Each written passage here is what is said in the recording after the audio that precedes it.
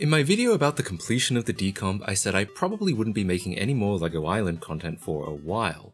But then someone set out to prove me wrong. One of the most common motivators behind a decompilation project is the prospect of porting a beloved game to PC. But LEGO Island is different. It is, and only ever has been, a PC game, and it can still technically run on Windows 11 with enough patience. But it is just barely holding together, Without help from mods and compatibility layers, it's virtually ripping apart at the seams. And so porting the game's codebase away from its aging Windows 95 and DirectX 5 infrastructure to something modern and cross-platform had been our dream ever since we started messing around with the game in 2019. Not just for improving playability on modern systems, though that was certainly a big part of it, but also just for the fun of seeing a game running on hardware you wouldn't expect it to. Is putting LEGO Island on the Wii practical? No. But is it cool as hell? Absolutely. And today, I'm incredibly pleased to announce that the vast majority of this work has been officially completed, with the game fully decoupled from its archaic foundations and capable of running on everything from modern Windows to Linux, Mac OS to iOS, and even completely inside an everyday web browser. And as far as we're concerned, this is only the beginning. We'll be talking about all of that and more after a message from our sponsor. If you're in need of a website and don't want to mess around with writing code or having to set up and maintain a server, then Squarespace is one of the easiest ways to do it. They have over 100 templates to choose from, whether you need a website for an online store, portfolio, business, or blog, Squarespace has you covered and will get you up and running in no time. And if you need to make any customizations, their site editor is a breeze to use, so you can really give your website the personal touch it needs. I used Squarespace for my online store and loved just how easy it was to get a great looking result. It integrated immediately with everything that I needed it to, and it gave me peace of mind to know that my store was in good hands. So if you want a great looking website with no fuss, head over to squarespace.com slash mattkcbytes to save 10% off your first purchase of a website or domain. And now back to LEGO Island. Our first major pushes to make the decompilation more portable actually started very early on in the process. While we were primarily working with Microsoft's Visual C++ 4.2 compiler, almost from the very beginning, prominent team member Martin was testing the code with GCC, a compiler widely used for various other platforms, especially Linux. While our priority was obviously matching the original code, we all knew the importance of being able to use modern compilers in the future, so we tried our best to keep both compilers happy with the decompiled code. MSVC, especially back then, was a lot less strict about following standards than modern GCC is, and there were times that something we decompiled would throw an error on GCC, but fixing it would break an otherwise perfect match on MSVC 4.2. In these scenarios, we would end up having to implement a piece of code twice, once the incorrect way that matched the original game, and once the correct way that would make GCC happy. We could then use a simple macro check so that the right code was used for the right compiler. At first, the GCC build couldn't really do much because, annoyingly, GCC and MSVC use different ABIs when compiling C++. That's a nerdy way of saying that while the front-end isle.exe had been fully decompiled by this point, if you then compiled it with GCC, it could not be used with the original game's LEGO 1.dll. It could only be used with a DLL also compiled by GCC, and we didn't have much of LEGO 1 for it to compile. But over time, that changed, and using other compilers became more and more viable. It may seem like a small thing, but it was actually pretty exciting for our very first taste of being able to do tangible, transformative things with the LEGO Island codebase. But using a modern compiler is not the same thing as modernizing the codebase. For all intents and purposes, LEGO Island was still stuck in the land of Windows 95 and DirectX 5, and we all knew that decoupling it from those would involve much more significant changes to the game's codebase.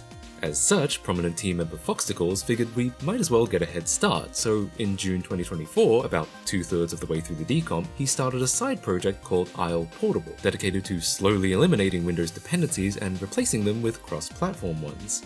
Some low-hanging fruit got picked off pretty quickly. LEGO Island uses the proprietary Smacker library from 1997 to play FMVs, and it was pretty straightforward to replace this with libsmacker, a fully open source alternative.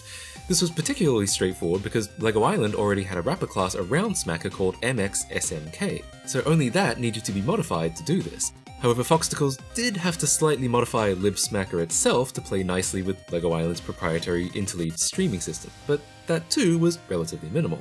Then the team started porting the more Windows-specific stuff over to SDL, Thankfully, these two were relatively minimal. I mean, all apps need to communicate at least a little with the host OS, but for games like LEGO Island, this is mostly limited to creating the window, receiving events like minimizing and closing, keyboard and mouse input, and multi-threading. All of these are readily available in SDL, which itself supports a wide variety of platforms. By porting to it, we effectively also port to those too. LEGO Island's configuration, normally stored in the Windows registry, was also moved into a simple ini file using the library libiniparser. A faithful remake of the LEGO Island config app was also made in Qt to provide a familiar cross-platform interface to this ini file. But while SDL does support audio, it does not support an audio feature that LEGO Island made extensive use of, 3D audio. When LEGO Island plays a sound effect or line of dialogue, it uses features in DirectX to make it sound like it's coming from a specific direction and distance. Oh, for goodness sakes! What in the blue bricks was I thinking? I forgot to tell you one more thing. If you want to help out in the pizzeria, delivering Lego Island's tastiest comestibles, click on the pizzeria. Foxtacles ended up utilizing a library called miniaudio, which was extremely easy to integrate, being a self-contained, single-header library with no other dependencies, and does a solid job of replicating the spatial sound effect. While there are some minor imperfections, its developers have been very responsive and willing to fix any problems we've encountered. At this point, we were already starting to see improvements in the game's behaviour.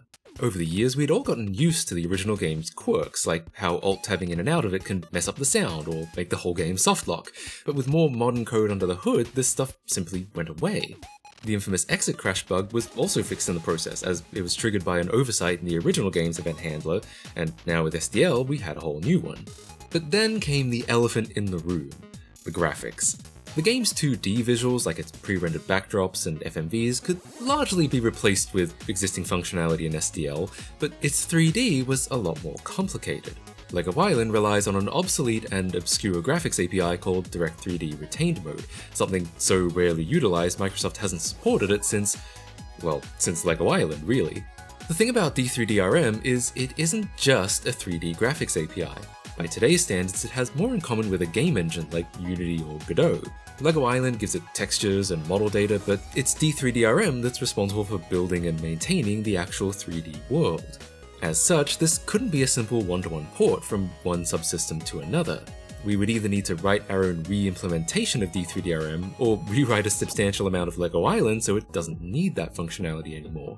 D3DRM is relatively well documented, more so in books from the era than on the internet, so we knew it wasn't necessarily going to be difficult as much as it would be extremely time consuming. And having just finished a time consuming decompilation, we were all a little apprehensive to dive into D3DRM, even though we knew it was the last piece of the puzzle to making LEGO Island fully cross platform. The team ended up procrastinating for the next few months, instead working on ways to improve the decomp's accuracy while Isle Portable remained dormant. That is, until I made my video announcing the completion of the decomp. Fellow 90s game hacker Anders Jenbo, known for his contributions to DevilutionX, the modernized community version of Diablo, saw it, heard about our concerns about reworking D3DRM, and promptly decided to give it a go himself. With Anders taking the lead, Isle Portable was suddenly making rapid progress, Rather than making significant modifications to LEGO Island, his approach was to re-implement the Direct3D APIs that the game expected, essentially writing a translation layer from LEGO Island to more cross-platform libraries. This mirrors similar approaches used in other decomps like Super Mario 64, where ports frequently use a translation layer from the N64's Fast 3D microcode. And apparently DevilutionX 2, where the translation layer was eventually absorbed into the game, cutting out the overhead of translation. At first, LEGO Island's translation layer was full of empty functions, just enough to get the game to compile without the real Windows and DirectX libraries present, but not enough to actually do anything.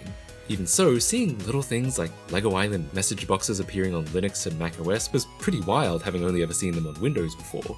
From here, Anders started plowing through the API, getting LEGO Island's 2D functionality ported over within just a few days of joining the project.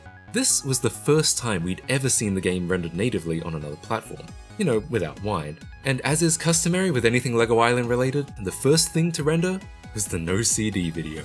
Oops, you have to put the CD in your computer. But we all knew 2D was the easy part. It was time to plunge into D3DRM, the no man's land that none of us had dared to go before. We were glad to finally have someone dedicating some time to this, but nothing could have prepared us for how quickly things would progress.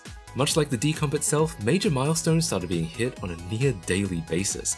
Before we knew it, Anders had triangles showing on the screen, then meshes rendering, then textures, and then lighting. Within two weeks, we went from seeing practically nothing to seeing the whole island rendered with completely custom code. Seeing all of this come together so quickly was insane. We had all predicted several months or even years worth of further work to be done even after the decomp was complete, but no, it's like we all blinked and the hardest, most daunting part of the process was already done. That alone was exciting enough, but what was especially cool was the way Anders implemented the 3D code. The thing that really complicates implementing anything in 3D is that there is no one way to do it. If we wrote a D3DRM implementation in OpenGL, that's great, but there are a lot of devices out there that even OpenGL wasn't available on. And I was always concerned that anything we did might lock the game out from working on whatever platform we wanted. At first, Anders utilized SDL GPU, a new feature in SDL3 that abstracts rendering from Vulkan, Metal, and Direct3D 12. Yeah, you heard that right. LEGO Island can now render Vulkan, Metal, and Direct3D 12 more or less natively. But as cool as this was, I was also a little concerned. This is great for modernizing LEGO Island, but what about getting it to run on older systems or game consoles that never provided any of these newer APIs? Thankfully, Anders understood this too, and wrote his D3DRM implementation to be modular so that backend APIs could be easily written and swapped out with minimal changes to the rest of the game. He then went on to write a simple software rendering backend. LEGO Island was actually developed with software rendering in mind, since at the time GPUs were relatively rare.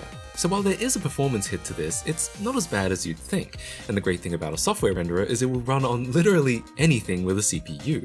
And finally, just to cover all of his bases, he wrote an OpenGL 1.1 backend, which is about as far back as you can go. This lays the groundwork for some pretty exciting stuff. We know there were early abandoned plans to release LEGO Island on classic macOS. We could actually do that with the OpenGL 1.1 backend. And with the modern backend, the game has already been confirmed to be fully playable on not just every major desktop OS, but also modern smartphones. Yes, LEGO Island is now on iOS, of all things. While working on this video, he even wrote a DirectX 9 backend, specifically to make a backend compatible with RTX Remix. Yes, the ray traced LEGO Island memes are actually becoming real. But the biggest rite of passage for this whole LEGO Island decompilation was this a web port of LEGO Island, something Foxtacles had been dreaming about since 2009. Having grown up with the game like many of us, Foxtacles wanted to share the game with as many people as possible, and turning it into a web game was the most obvious way to do that. But back then, the web was a very different place. Internet multimedia was dominated by Flash, which didn't really make sense for a game like LEGO Island. And while Java might have been able to pull it off, without the source code, conversion into either of these was a dead end.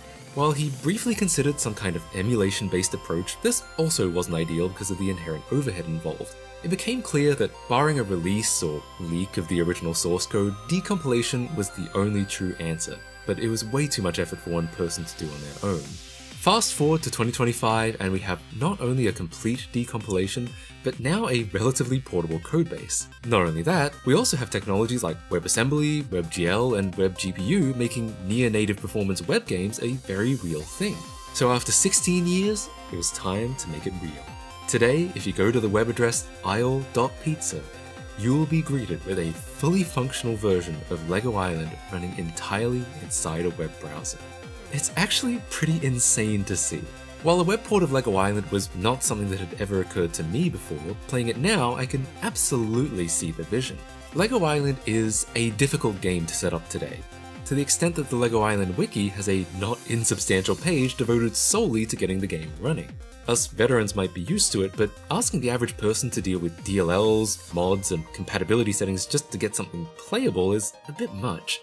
But the fact that anyone with no more than an up-to-date web browser can type in a URL and start playing the game in seconds solves that problem completely.